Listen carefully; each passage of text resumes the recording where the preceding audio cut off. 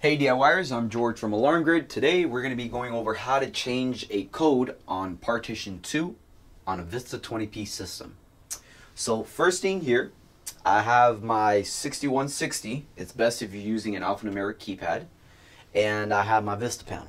Now for those of you who don't know what a partition is, a partition is basically a uh, set of zones assigned to a specific area in the business location or your home. So for instance, if I have a house and I have an office and I want to protect all sensitive documents that are in my office or if I just want to keep that office protected separately, I can actually arm the office, all the zones associated with the office that are would be my partition 2 and have the rest of my zones, the rest of my house would be disarmed, would be normal um, as partition one, right? So I can have everything in my office, partition two, and my home as partition one. So that's a little example of what partition is. Uh, so today, one thing you also want to do is make sure it's easier if you have a keypad for each partition. So if you're going to have a partition two, it'd be better to have a keypad in that area and then wherever, you know, you have partition one, keypad in that area. The reason for that is because if not, then you have to use one keypad and switch to different partitions constantly. I'm going to show you guys that actually today because I'm only working with one keypad, right? So as you see here, I actually have my keypad to display the partition that we're in. Right now we're in partition 1 and it's in a ready to arm mode.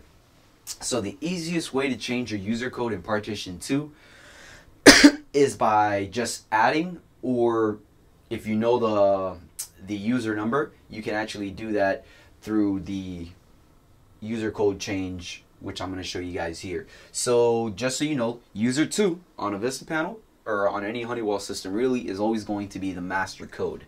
The master code can arm and disarm any partitions. It can be used to change and delete any user codes available. User number 3 is partition 1 master. So it can only arm and disarm partition 1 and it can only add and edit partition 1 user codes. Starting at user 33, that is partition 2. So the easiest way to add or delete or remove any codes from partition 2 is to deal with any user users that are 33 and up. Right? So here it's actually 33 to 49, yeah? So here I have my 6160.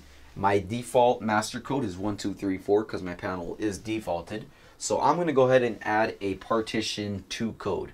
I'm going to actually do the partition 2 master, so user 33. So I'm going to add it, I'm going to type in my master, 1234, and then to change the code, it's the 8, right? That's how you guys, it's an easy way to remember. The number 8 says code at the bottom. You then need to enter in the user number, which is going to be 33, and then the new code, I'm going to enter in 4321.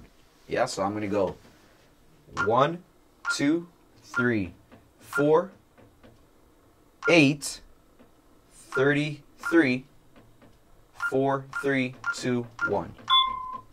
It gives me a ding for confirmation. So I've now added 4321 as my partition 2 master. So if you guys will see here, I'm going to try using 4321 to arm partition 1 and nothing should happen. So I'm going to go 4321 away nothing, right? But if I use my master code, one, two, three, four, away, it starts arming. I'm gonna disarm it. One, two, three, four, off. Yeah, so that means my master code worked.